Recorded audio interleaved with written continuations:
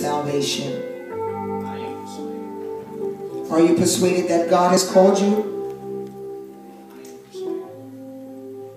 Will you accept this call and fulfill this trust in obedience to Christ Jesus?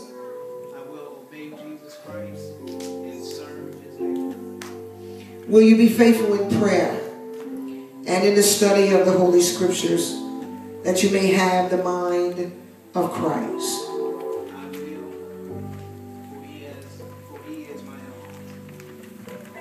Will you boldly proclaim and interpret the gospel of Jesus Christ, enlightening the minds and stirring up of the conscience of people of God? I will, in the name of Jesus, I'm sorry, I will, in the name of Christ in the power of the Spirit. I know you got it right. Will you encourage and support all spirit filled believers in their gift and ministries? Nourish them, form the riches of God's grace. Pray for them without ceasing and celebrate with them the sacraments of your redemption.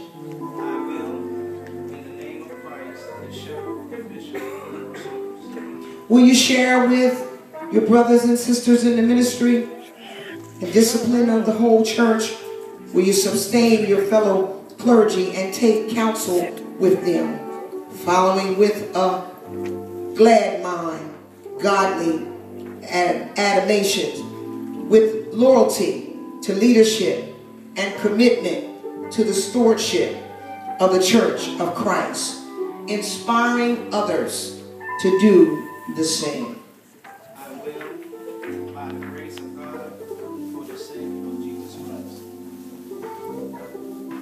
May our Lord and Jesus Christ, who has given you a good will to do all things, grant also to you strength and power to perform the same, that accomplishing in you the good works which he has begun, and you may be found faithful in his sight.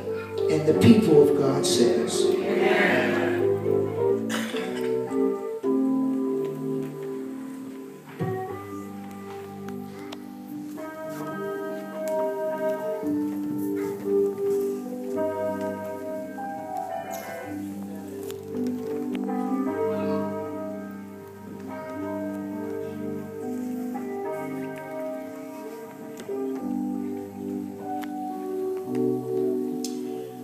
Almighty God, Father of our Lord, our God and our Savior, Jesus the Christ, His most holy sacrifice and the sanctification of the Holy Most Holy Spirit.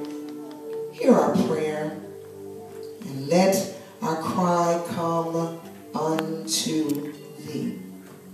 Look now, O Lord, in his gracious mercy upon these, this your servant, come to be entered into the holy office in thy church. Endow them with power from on high, so that with boldness he may declare thy word and minister with faithfulness the holy sacraments for the well-being of thy church through Jesus Christ, our Lord and our Savior. And the people of God says,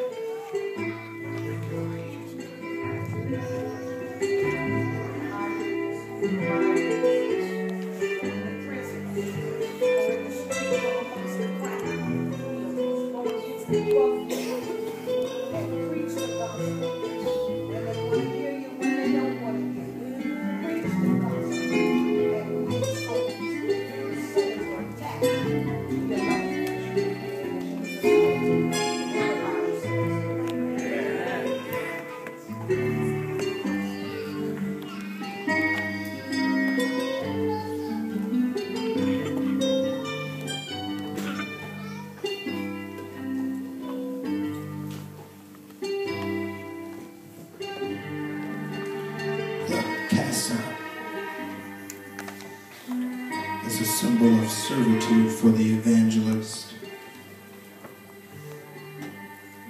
This vestment is to be worn in serving in ministry, a sign of the call to the office of the evangelist. Going into the world, teaching them, baptizing them in the name of Jesus Christ for the remission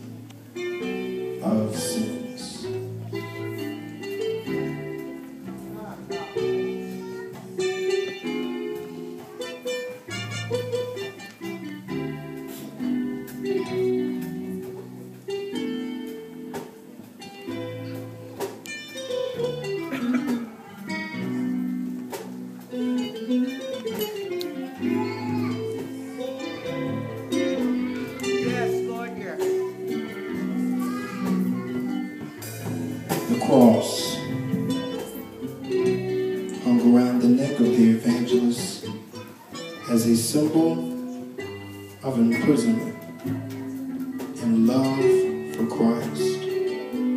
It's a symbol of endurance, which emphasizes that the carrier of this word is not a novice of the word. The oil a new anointing, new level of responsibility, a new level of the outpouring of the life of the individual. Consecration, sanctification, dedication to the call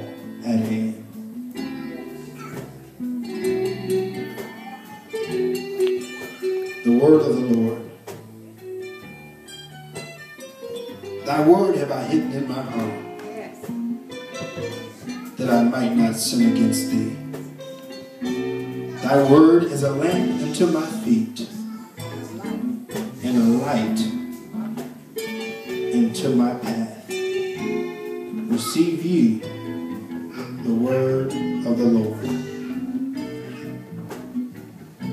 We will now have a prophetic impartation to the evangelist by the overseer Ballard.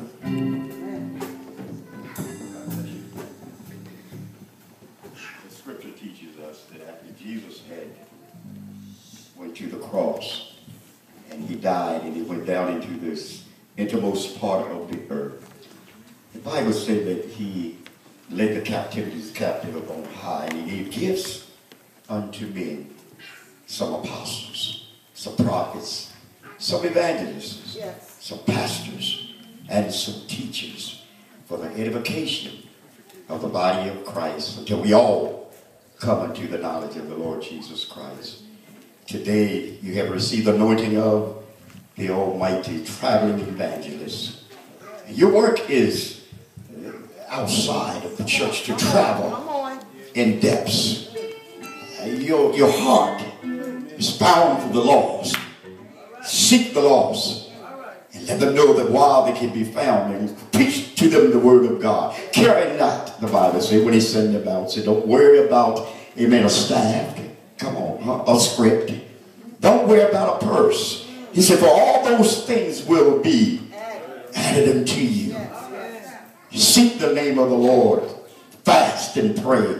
Let the Lord speak to you. And I say unto you today by the word that has been imparted unto you, the Holy Spirit that is leading you and guiding you. Fear not the face of them that look upon you.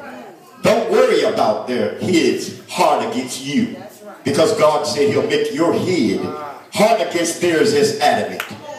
Go and preach the word. Declare the good news unto the world. And I declare unto you the Lord Jesus Christ will be with you even until the end of the world. Go in this prophetic ministry and let the world know that Jesus is alive and Jesus is yet stealing, still saving those who are willing and he will add daily to the church such as should be saved. God bless you. Go in the name of the Lord. God bless.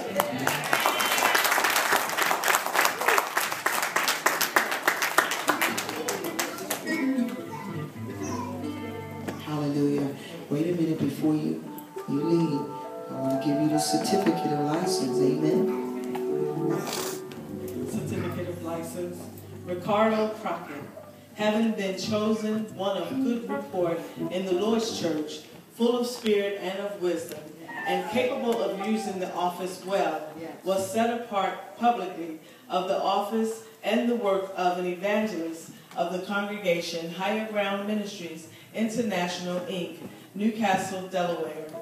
Her Grace Apostle Linda D. Tucker, Senior Pastor. But ye be watchful in all things, endure afflictions, do the work of an evangelist, fulfill your ministry. 2 Timothy 4 and 5. Amen.